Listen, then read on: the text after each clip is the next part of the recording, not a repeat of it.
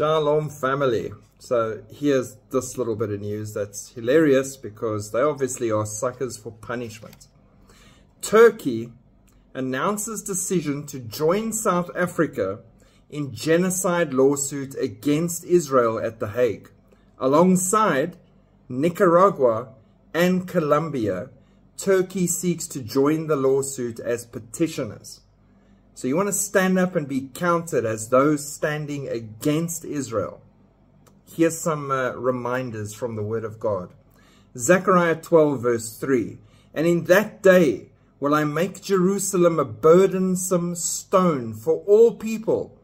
All that burden themselves with it shall be cut in pieces, though all the people of the earth be gathered together against it.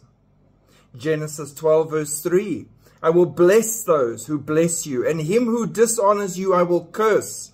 And in you all the families of the earth shall be blessed. Joel 3 verse 2.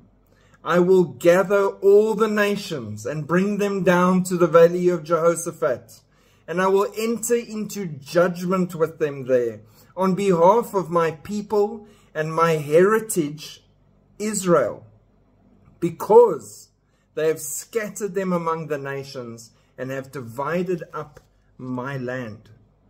So to South Africa, Turkey, Nicaragua, Colombia, and all the many other nations standing against Israel. Book a flight right now. Get down there to Israel. Go and look at the Valley of Jehoshaphat. Make yourself cognizant of what it looks like. See the lay of the land. Get it in your head. Because soon you will be standing there and be judged. Facts, Word of God's been right 100 plus percent of the time because it is the truth. Judgment is coming to all those that war against and stand against and wish to tear apart and rip to shreds and disperse Israel. Pray for Israel. Pray for the peace of Jerusalem. Shalom.